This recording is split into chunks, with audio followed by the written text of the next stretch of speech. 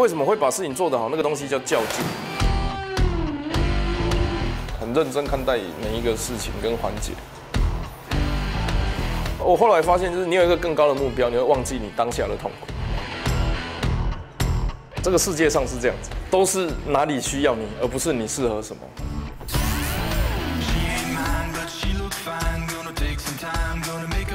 那第一次有看到那个跳舞机的时候，因为它它是新的东西嘛，那它同类型还有 DJ 之类的，那这些东西是日本人出的。日本人有一个特色，他们讲话的时候要有节奏感，不然很多人就会听不懂。他出很多这种节奏游戏，那我是其中一项的全球冠军。我认为跳舞机冠军这个头衔是一回事，但参与跳舞机的过程，它其实是让我呃看到台湾真实的一面，以及更加速社会化的过程。十四岁的国中学生，大部分时候还是被爸爸妈妈管得很紧，然后不要交到坏朋友啊，这个不要太晚回来，不要去打电动的的的这个指令哦。但是我啊这件事情大概应该人家说都要大学才开始，我在十四岁的时候就开始。跳舞机的时候是因可能是因为体力好，爱轰型呐。那到垒球的时候，它就变成比较是呃讲究团队纪律跟组织。跳舞机对我来讲是一个个人英雄主义的展现，我只要把自己顾好，对，让点光棍可以白，按照公赢得登来。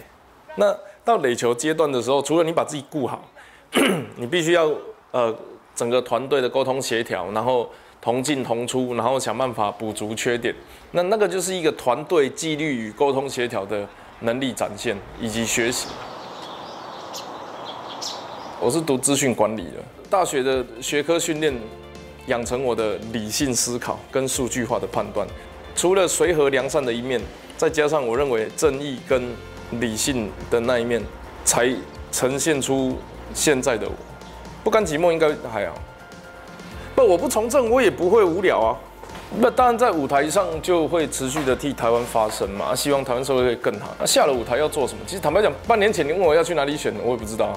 你问我比较想做什么的话，我其实是真的很想跟大家讲，正常的国家长什么样子，好的社会福利制度是什么东西，希望可以影响更多的人。就如果不是我在舞台上，那我希望可以有更多的人站上舞台。把这件事情做好，